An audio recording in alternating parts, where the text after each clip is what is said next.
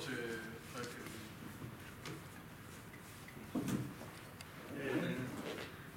קודם כל, יש סוגיה שאני חושב שהייתי ניגש אליה הראשונה בנושאים האלה, מחלוקת המוראים, מחלוקת רבי יוחנן דורש להקיש, האם קניין פירות כקניין הגוף דמי או לא? הרשב"ם אומר, אין הגוף עומד אלא לפירותיו, וזה יסוד שיטת רבי יוחנן. אז חלק מהראשונים אומרים, נכון, אבל גם אם לפי רבי יוחנן יש דברים שהם מעבר לקניין הפירות והתשמישים, שהם כן תלויים באיזשהו קניין גוף טהור. אבל זה לכאורה סוגיה שממש תוקפת את השאלה הזו בצורה הכי... זה מתקשר למשהו שלא רציתי כל כך להיכנס, כל ההבחנה בין שלו וברשותו, בכמה עניינים, וברשותו זה בעצם בשליטתו, אז אם אדם מקנה דבר שלא ברשותו, ובעצם... שזה אותם המוראים שנחלקו בזה. בדיוק, גם של רבי יוחנן, ובעצם קניין הפירות זה השליטה, במובן מסוים זה זכות השימוש, נכון, לא פה יש תרמין שממש אומר את השאלה הזאת, האם קניין פירות נכון, למרות שקניין הגוף זה תמיד, הסוגיות עצמם זה בגלל שיש לו זכויות עתידיות. אני לא יכול למכור לך פירות לעולם, ולהישאר עם הגוף. אז גוף, אז זה דווקא קצת נגדי. אין דבר כזה. למכור גוף, פירות לעולם והגוף שלי.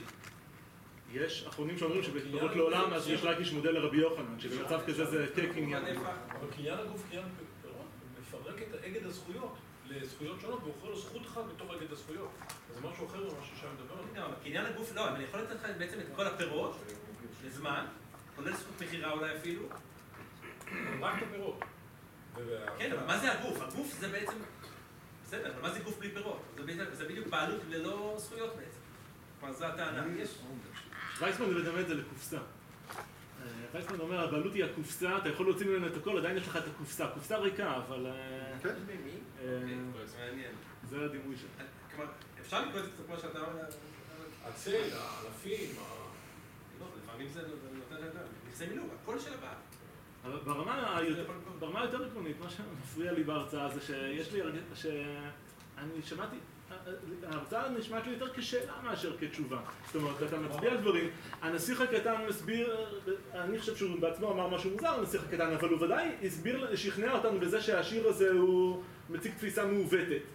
ואבסורדית, ואנחנו, ופה זה נשמע שאנחנו חוגגים את זה שככל שזה נשמע יותר אבסורד, אז תראה, הנה, ואנחנו מוכיחים שזה נכון. אבל למה? מה הצדקה לזה? איפה התגברתי על האבסורד שיש כאן? שתי תפיסות. יש כאלה, אז אני חושב כאן כל אדם שורש נשמתו. מה הצדקה לבעלות שהיא ריקה מתוכן, שהיא עוסקת באיזשהו טייטל, ואנחנו חוגגים את הטייטל הזה, וככל שהשתכנענו שהוא יותר נטול תוכן, ככה אני יותר מאושר שיש את הטייטל בלי התוכן. אוקיי, אני רק אומר... זה קצת קשור להרצאה הראשונה, אני חושב. כלומר, כל ההיבטים הווירואליים שקשורים למשפט. אז המשפט, נגיד שיש פה פסיכולוגיה מסוימת. אני אומר, חלק מהאנשים, ואני חושב שאולי אפילו רובנו בהקשרים מסוימים, גם אלה שמבושים את זה, על פניו, כמו שאתה מציג את זה עכשיו, צוחקים על זה קצת, או מכריחים את זה, אולי אתה כן תמצא פה ושם את התחושות הללו, שאתה כן מרגיש איזשהו קשר לדבר, בלי קשר לזכויות. אתה תקרא את הדוגמאות למעלה. ואז זה לא כל כך משווה שהמשפט ייתן לזה איזה משהו. זאת אומרת, יכולה להיות הצדקה תועלתית שאנחנו נשפר תחושות של אנשים, מכיוון שיש לאנשים נטיות כאלה, אז מוסד הקניין, גם כשהוא נטול כל היבטים פונקציונליים, אבל הוא עדיין מסוגל לשפר את התחושות שלנו קצת, ובכך תרמנו לתועלת האנושית בעולם, כי התחושות שלנו השתפרו. אבל לא נראה לי שזה הניסוח שאתה רוצה ללכת בו. כי זה, עכשיו לקחת קצת את הטרמינולוגיה שמדברים בזכויות קניין. מתי כדאי לתת זכויות קניין? לגבי הקניין, יכול להיות שזה באמת לא כל כך. גם פה יש הכרעות משפטיות, האם להכיר בקניין הזה ללא זכויות או לא, אז אולי, אולי שיקולים מהסוג הזה, הנה, אני באמת חושב, מה זה הלחם ולולב? זה כן, בסופו של דבר, איך שלא תסתכל על זה, זה כנראה יוצא מתוך הנחה שחוויית נטילת הלולב היא קצת שונה, אם זה שלך או זה לא שלך. אז, אז יש כאן איזושהי התייחסות לאיזה משהו מעבר לזכויות. זה לא עכשיו הנושא המעניין, יש לך זכויות שימוש בלולב. נתת לך את זה, ושאלתי לך.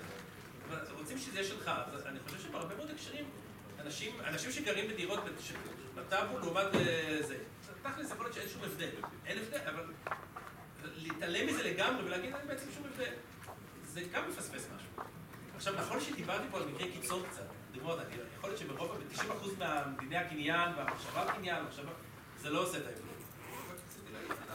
הפינה הזאת.